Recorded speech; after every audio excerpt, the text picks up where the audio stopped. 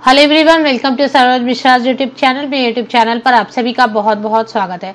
जैसा कि हम सबने देखा कि रिक्रूटमेंट रूल करके 38,000 से ज़्यादा एकलव्य स्कूल में वैकेंसीज आ रही हैं टीचिंग पोस्ट की और नॉन टीचिंग पोस्ट की। अभी तो सिर्फ़ क्या क्या पोस्ट हैं कितने नंबर ऑफ़ वैकेंसीज हैं क्या सैलरी रहेगी एज लिमिट ये सारी चीज़ें आ गई है रिक्रूटमेंट रूल के नाम से। 42 पेजेस की। बट इसके बाद एडवर्टीजमेंट भी जारी हो जाएगी और एडवर्टीजमेंट जारी होते ही ऑनलाइन एप्लीकेशन शुरू हो जाएगी। लेकिन क्या आप सभी को पता है कि कहाँ कहाँ पे एकलव्य स्कूल है? क्योंकि पिछली बार ऐसा हुआ था कि जहाँ जहाँ एकलव्य स्कूल है, वहाँ उस स्टेट के कैंडिडेट अप्लाई कर पा रहे थे डोमिसाइल सर्टिफिकेट के साथ रेसिडेंशियल आवासीय सर्टिफिकेट के साथ में। तो ये जान लेना अच्छा रहेगा कि कहाँ कहाँ पर एकलव्य स्कूल है कौन कौन से स्टेट में। तो चलिए एक नज़र देख लेते हैं। पूरी लिस्ट है मेरे पास। अपडेटेड लिस्ट है फरवरी 2023 की। फरवरी 2023 की अपडेटेड लिस्ट है कि पूरे देश में, पूरे इंडिया में कहाँ कहाँ कौन कौन से स्टेट में एकलव्य स्कूल मौजूद है। क्योंकि बड़े नंबर पर वैकेंसीज आ रही हैं तो क्लियर रहेगा कि हाँ ठीक है, इन स्टेट में तो है। एकलव्य तो यहाँ यहाँ से तो कैंडिडेट जो एलिजिबल होंगे वो अप्लाई कर ही पाएँगे। बाकी स्टेट के कैंडिडेट कैसे अप्लाई कर पाएँगे ये भी देखा जाएगा आगे। तो चलिए पहले देख लेते हैं लिस्ट को एक बार। तो ये लिस्ट मैं हाईलाइट करते जाऊँगी क्योंकि इतनी बड़ी लिस्ट 35 पेजेस की सिर्फ़ मैं आपको बताते जाती हूँ कि कौन कौन से स्टेट में सबसे पहले आंध्र प्रदेश में आप देख रहे हैं। स्टार्टिंग जो हुई है ए से आंध्र प्रदेश में है एकलव्य कई सारे इसमें है। ये अपडेटेड है बिल्कुल list as on first February 2023 तो इसी साल की अपडेटेड लिस्ट है। List of Eklavya model residential schools in India पूरे देश भर में जितने भी हैं एकलव्य स्कूल उनकी लिस्ट है। तो मैं स्टेट बताते जाते हूँ इतना डिटेल बताना पॉसिबल नहीं होगा कि कौन कौन से डिस्ट्रिक्ट में। तो सीरियल नंबर वन से लेके सीरियल नंबर ट्वेंटी एट तक आंध्र प्रदेश में मतलब आंध्र प्रदेश में तो है। एकलव्य चलिए नेक्स्ट जो स्टार्ट होता है सीरियल नंबर ट्वेंटी नाइन से वो अरुणाचल प्रदेश। तो आंध्र प्रदेश में है, आंध्र प्रदेश के बाद अरुणाचल प्रदेश में। ये लिस्ट जारी रहती है थर्टी एट सीरियल नंबर तक थर्टी एट सीरियल नंबर तक अरुणाचल प्रदेश। आंध्र प्रदेश के बाद अरुणाचल प्रदेश और अरुणाचल प्रदेश के बाद आसाम। आसाम में दिखाई दे रहा है, यहाँ पे आप देख सकते हैं आसाम चल रहा है फ़िलहाल। आसाम में एकलव्य है, आगे बढ़ेंगे तेज़ी से क्योंकि और भी बहुत सारे स्टेट में है। आसाम के बाद बिहार में कम है, लेकिन बिहार में है। मतलब बिहार के कैंडिडेट भी इसका बेनिफिट उठा सकेंगे।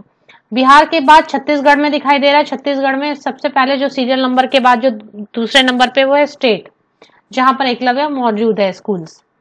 तो छत्तीसगढ़ में भी है तो बहुत बड़ी लंबी लिस्ट है। छत्तीसगढ़ की बहुत सारे हैं स्कूल्स छत्तीसगढ़ में, लेकिन है। चलिए, अभी छत्तीसगढ़ सबसे ज़्यादा दिखाई दे रहा है।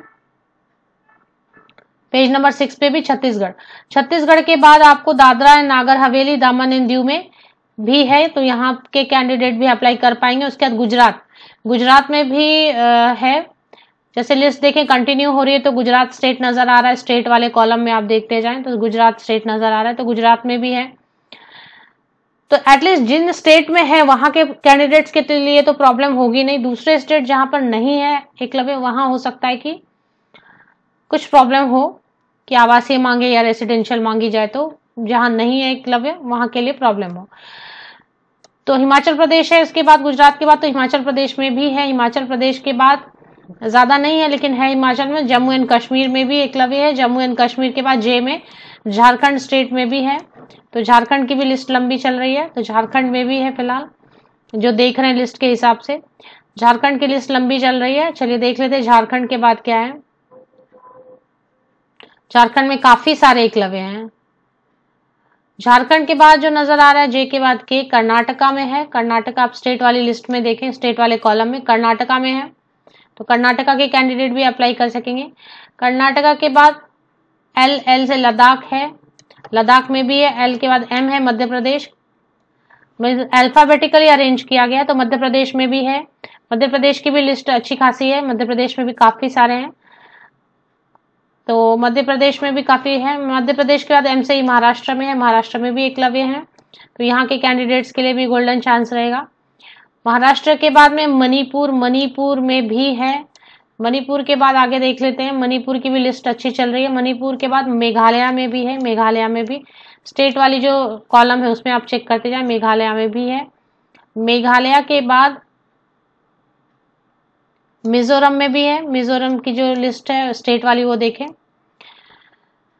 नागालैंड, मिजोरम के बाद नागालैंड में भी है। मैं एक दो हाईलाइट करके बता रही हूँ लिस्ट तो काफ़ी लंबी चलती है किसी किसी की, और किसी किसी की तो एक दो ही है, लेकिन है। नागालैंड के बाद उड़ीसा में है, उड़ीसा राज्य में भी है। तो उड़ीसा से भी कैंडिडेट अप्लाई कर सकेंगे। इसके बाद अगर बात करें उड़ीसा के बाद तो उड़ीसा की भी लिस्ट अच्छी चल रही है, लंबी। जैसे मैं स्क्रॉल डाउन करते जा रही हूँ तो कई पेजेस तक उड़ीसा ही है केवल।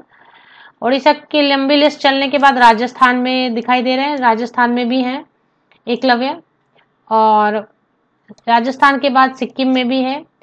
सिक्किम की लिस्ट छोटी है, लेकिन है सिक्किम में भी। तमिलनाडु तमिलनाडु में भी है। तमिलनाडु के बाद फिर तेलंगाना में है। और तेलंगाना की लिस्ट है। तेलंगाना के बाद त्रिपुरा स्टार्ट हुआ है सिक्स से। सीरियल नंबर छह सौ चौवन से त्रिपुरा। त्रिपुरा में भी है। त्रिपुरा के बाद है उत्तर प्रदेश। उत्तर प्रदेश में भी है। उत्तर प्रदेश के बाद उत्तराखंड में भी है। जैसा आप देखें, मैं हाईलाइट कर देती हूँ एक दो। उत्तर प्रदेश के बाद मैंने उत्तराखंड हाईलाइट किया है। एक जैसा लग रहा है, लेकिन है उत्तराखंड में। इसके बाद वेस्ट बंगाल में भी है तो वेस्ट बंगाल के भी कैंडिडेट अच्छी इनके लिए अपॉर्चुनिटी है। तो जैसे वेस्ट बंगाल से वैकेंसीज कम आती है तो चलिए एटलीस्ट तो इतने सारे हैं 690 एक्चुअली 704 या 740 है अभी अपडेट और कुछ ऐड हो गए हैं, लग रहा है एक लगे और कुछ खुले हैं। तकरीबन 10-20 और एकलव्य खुले हैं कहीं कहीं पर। तो एटलीस्ट ये जो लिस्ट मैंने आपके साथ शेयर की, इन स्टेट से तो कैंडिडेट बिल्कुल अप्लाई कर पाएँगे। अगर eligibility criteria eligibility criteria teaching non teaching दोनों के लिए मैंने सेपरेट वीडियो बनाई हुई है, आप चेक कर लें। मेरे लेटेस्ट वीडियोस के थंबनेल अगर टीचिंग वाला देखना चाहते हैं तो अलग वीडियो है। अगर नॉन टीचिंग एकलव्य देखना चाहते हैं कि क्या क्वालिफिकेशन है तो उसके लिए एक अलग वीडियो बनाई गई है।